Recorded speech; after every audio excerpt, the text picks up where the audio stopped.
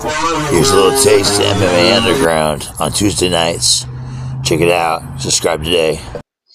That's all I like to butt punch his face. I can if I have to. I've heard if you lock your chin down to your chest, align your neck, forehead, bust his hand open. I've heard. That happened with the red goat when you blocked his kick with your face and you were like, "Who's dead?" I, I yeah. It almost looked like you caught it. Yeah. It, it almost looked like you caught it. Solo Yeah, I was trying to.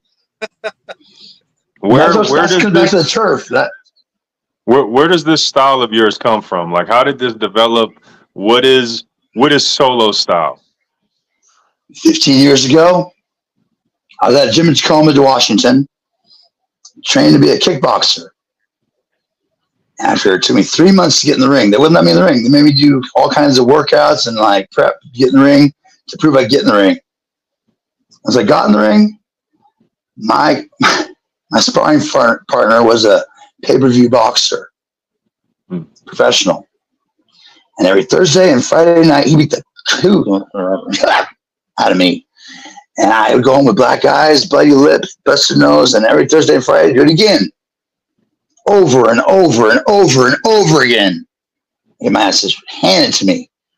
And then one night, he's like, No, not you, kid. You. To the beanpole guy. Little legs, little legs, very skinny, tall dude. That tall guy walks into the ring, jumps up, knees him one time in the chest, lands, steps out of the ring, and then look back. And the pay-per-view fighter grabs his chest and falls front first on the canvas. Everyone in the club runs, champ, champ, you okay?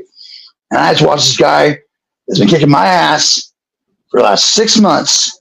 His ass handed to him by one knee, one knee. I'm changing the program. That guy, this Beeple guy, what are you doing? Okay. On board. On board right there.